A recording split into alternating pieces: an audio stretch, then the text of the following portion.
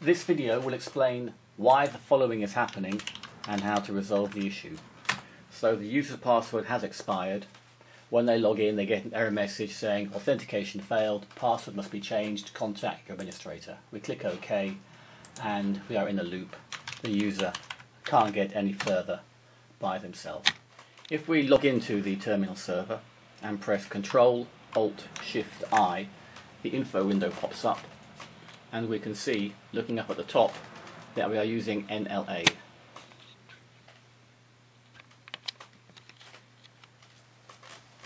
And the Windows Update password mechanism does not work through NLA, whether you are working on a terminal or a PC. So that is the obstacle, and there are several ways to work around that. The first way we'll look at involves turning off NLA for the initial logon negotiation during the password update and then resuming a TLS connection afterwards. So to set this up on the terminal server you have to disable or untick this box here. So the boxes allow connections only from computers running remote desktop with NLA. So we have to allow computers to connect which are not running NLA. Next, next within the terminal configuration,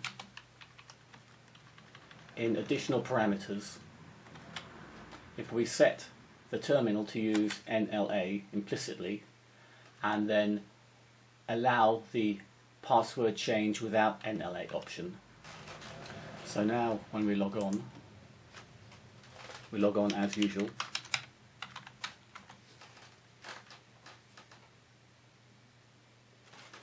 the user's password must be changed before signing on. So now, although the terminal is configured to use NLA, we're ducking out of using NLA and using a straightforward RDP connection.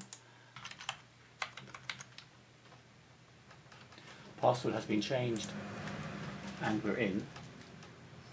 And if we press Control Alt Shift I, we'll see that we are using SSL or TLS to connect. So the security has not been compromised, although we did stop using SSL for the duration of the password update mechanism. So that's one way of doing it, and if you want the terminal server to authenticate the user, then that's probably the best way to configure it. The second way is to use Active Directory, and I'll reset everything back to factory defaults and run through how that's set up. Okay, I've reset everything, so when we try to log on,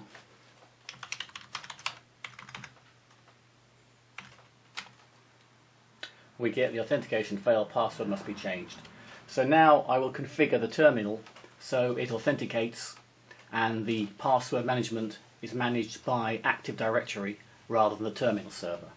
So to do this, we enter setup, in network, Active Directory, we enter the details of the Active Directory, the domain name and the NTP server. And we can click test and we should get today's date and time. Uh, if you don't, then don't go any further. You need to work out why that isn't working. So if I go into Network Active Directory, then I'm unable to access the NTP server. That is because the terminal is expecting this parameter to be provided through DHCP and as this field is blank, my DHCP server is not delivering that parameter. So the solution is to go into network, Ethernet parameters, um, DHCP parameters, and then these are the parameters which DHCP does deliver. Turn off NTP server, quit out and save. So now DHCP is not providing the NTP server and I can enter my own details. In many cases it will be the domain controller, but not necessarily. If in doubt, put in the domain controller. Second step is in terminal security enable Active Directory. You can put in a default username or not, if you like.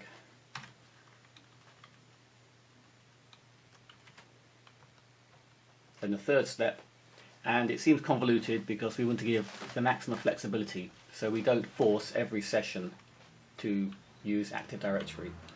You go into session, pick our session, in authentication, single sign on Active Directory, set that to yes. So after reboot, we now see Active Directory here, so we know the terminal is authenticating against Active Directory and not the terminal server. We log in and it says your password has expired or must be changed. Enter a new password in the following screen. So we're now connected.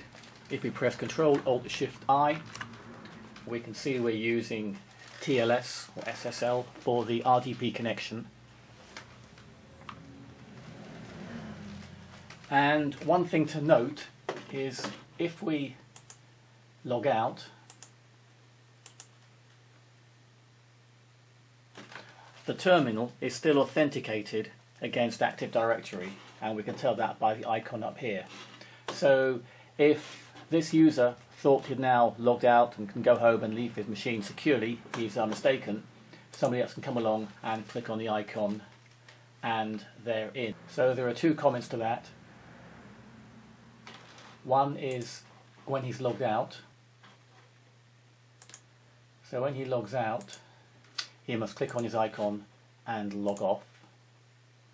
So now the next user has to re-enter credentials or within a terminal configuration within terminal security with this parameter here no active sessions so after the last RDP or ICA session has been logged out of the terminal by default does nothing so we emulate a PC in that respect, but it might be more intuitive for the terminal to either disconnect or shut down after the last session has been closed. So I'll leave it to disconnect. So now when the user logs in, they log in as usual, but when they log out, the terminal is left in a secure state. The final thing I'll show is how you can disable NLA altogether or the initial logon.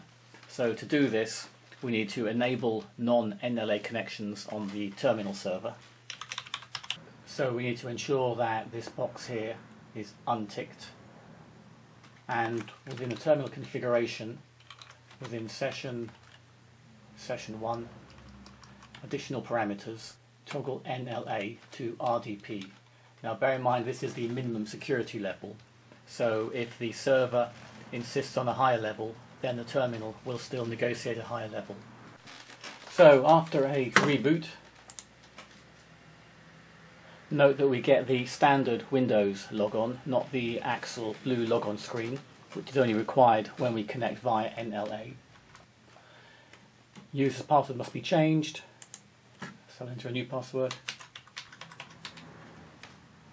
password has been changed and we are in. I hope you found that relevant and interesting and if you have any questions or comments please contact your usual Axel contact. Thank you very much and bye for now.